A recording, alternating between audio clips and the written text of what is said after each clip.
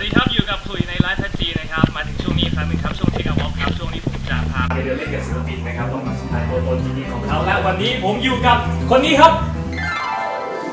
เย่ใครครับพี่ดีราชาอย่าได้หัวใจอย่าเพิ่งไปคิด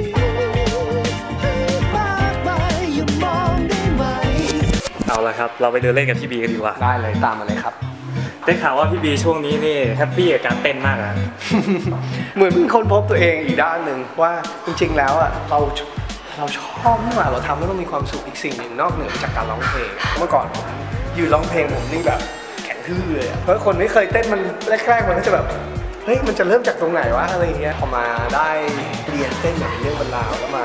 ใช้กับการร้องเพลงมันเลยสนุกมากชื่อวงอาถ้าพูดถึงว่ามันสักเซสหรือเปล่า มันเรียกได้ว่ามันล้มเหลวเลยอะผมเลิกร้องเพลงไปเลย ทุกอย่างความหมดเลย ตอนนั้นตังค์ก็ไม่เหลืออะไรเงี้ยก็ต้องไปนอนบ้านเพื่อนหลายเดือนเลยอะคงเป็นตอนที่ผมเลิกร้องเพลงแล้วแล้วผมกลับมาเริ่มร้องเพลงใหม่ มันเหมือนคนหิวกระหายอะ มันเป็นโมเมนต์ที่ผมจำได้เลยช่วงนั้นอะแค่สองปีกว่า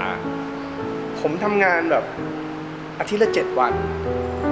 ตั้งแต่สองทุ่มถึงตีสอง ทุกวันไม่มีวันหยุดเลยจนแบบเดี๋ยวก็ป่วยเดี๋ยวก็ป่วยเดี๋ยวก็ป่วยแต่ผมมีความสุขมาก มันเหมือนนกที่ถูกปล่อยออกมาจากกรงอะมันแบบเฮ้ยเรามีปีกแล้วเราบินได้แล้วอะไรอย่างเงี้ยมันมีความสุขมากจากนั้นผมก็เลยรู้ว่า ผมคง ผมคงต้องตายในหน้าที่แล้วล่ะดนตรีมันเป็นเรื่องแปลกมากเลยนะครับมันเหมือนเราได้ยินก่อน ได้ยินเสียงนั้นก่อน เราถึงถึงร้องมันออกมาได้อะเวลาเราทำเพลงฟังเองกับทำเพลงให้คนอื่นฟังเนี่ยมันเหมือนกับเวลาเราทำอาหารนะเวลาถ้าเราทำอาหารกินเองเนี่ยบางทีเราก็มาม่าเราก็กินได้เราหิวอะแต่ถ้าเราอยากทำขาย เราคงไม่เอามาม่ามาทำขายได้อะเพราะทุกคนเขาก็ไปซื้อมาม่าได้มันก็เหมือนกันเวลาที่เราทำเพลงให้คนอื่นฟังมันก็เหมือนเรากำลังเซิร์ฟสิ่งที่ดีที่สุดให้เขาอะมันต้องดีกว่าที่เราฟังเองด้วย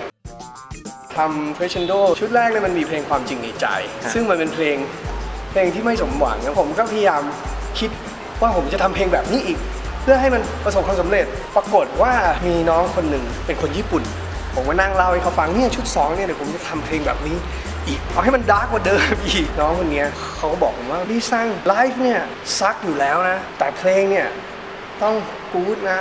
ต้อง give hope นะ ผมฟังแล้วแบบผมก็อึ้งอะโลกมันแย่อยู่แล้วอะคือข่าวเขาก็รายงานอยู่แล้วไงฮะเรื่องความเป็นจริงว่าแบบ ตรงนั้นยิงกันตรงนี้ฆ่ากันผมว่าดนตรีน่าที่จะแบบพูดความจริงได้บ้าง แต่ก็ไม่จำเป็นต้องไปแบบตอกย้ำมันจนจนทำให้คนหดหู่ไม่มีความหวังในการดำเนินชีวิตต่อไปอะไรเงี้ยผมอยากมีคอนเสิร์ตของตัวเอง ผมอยากทัวร์สักหนึ่งทัวร์อันนี้คือความฝันแบบที่พอจะเป็นจริงได้ แต่ก็มีอีกอย่างหนึ่งผมอยากทำโรงหนัง แต่เป็นโรงหนังคลาสสิกนะหนังเก่าๆแล้วมัน มันดีอะมันมีอยู่มากฉายเป็นฟิล์มอะผมว่ามันมันมีมนต์ต่างกันกับการที่เรามานั่งดูทีวีที่บ้านเลยเอาละครับพี่บีครับอยู่ดีๆก็มาเดินเล่นกับผมครับเป็นยังไงบ้างครับ ดีครับก็ไม่ค่อยได้คุยอะไรแบบเปิดๆลึกๆแบบนี้อะไรอย่างเงี้ยครับก็ขอให้พี่บีโชคดีนะครับมีโอกาสเดินเล่นกันใหม่ครับ ยินดีครับผมบ๊ายบายครับได้ครับเจอกันครับเย้